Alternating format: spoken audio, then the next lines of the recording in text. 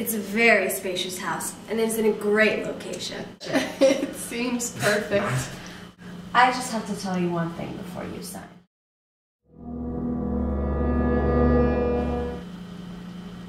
What happened? There was a tragic murder that happened a few years ago.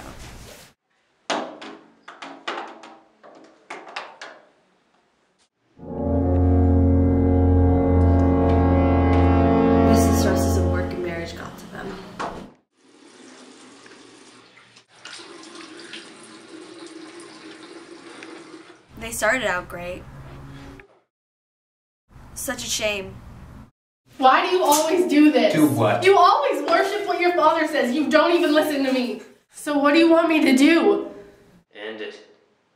End it with my son. But From what I heard, it led to domestic violence. But ended in homicide.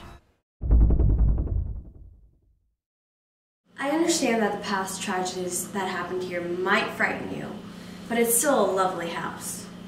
Will you still consider signing for it? We'll take it.